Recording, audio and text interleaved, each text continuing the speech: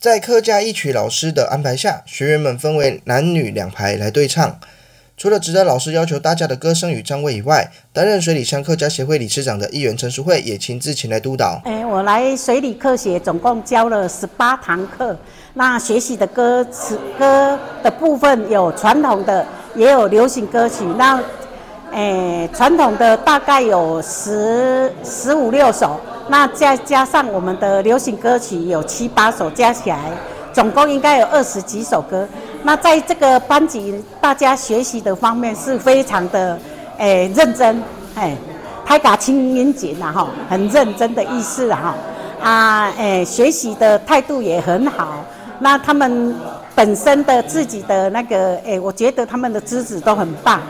学员们都很期待认真排练，希望观众可以透过他们的演唱，欣赏到客家歌谣之美。总干事也希望明明年可以争取到更多的课程。诶，今天我们很高兴哈，今天我们客家歌谣班的结业典礼啊，今天出来了，而且哈，我们一般都会觉得说女生会比较多，男生会比较少。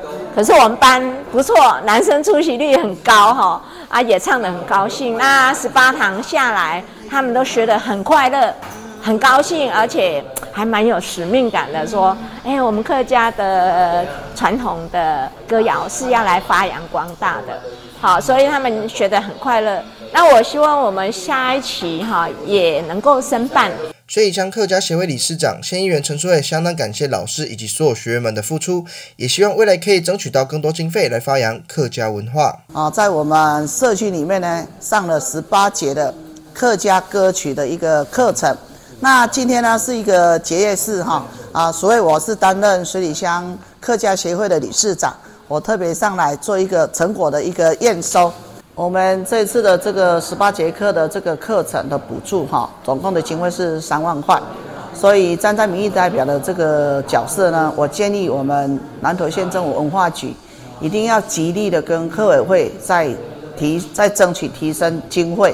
这里乡客家协会从七月份开办的客家文化一曲教学课程已经告一段落，协会也特别举办成果验收，希望透过这样的课程来让更多人认识客家文化之美。记者邱平义水里采访报道。